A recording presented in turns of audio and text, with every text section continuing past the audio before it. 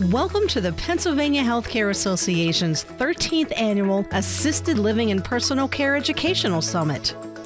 Hi, I'm Jeff Tobe. And I'm Howard Manns. And we are so excited to invite you to the PHCA's 13th Annual Assisted Living and Personal Care Educational Summit. Absolutely. I'm your opening keynote. We know that turnover rate in this industry is at its highest level.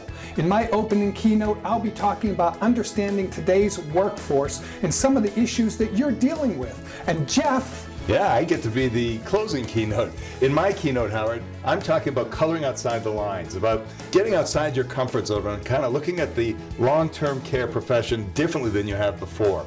It's about the end-to-end customer experience. That's great. We are so excited about this day. We look forward to seeing you there.